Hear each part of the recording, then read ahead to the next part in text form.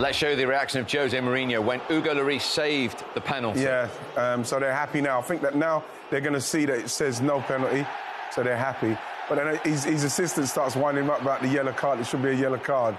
This and now look at Jose. This is awesome. This is brilliant.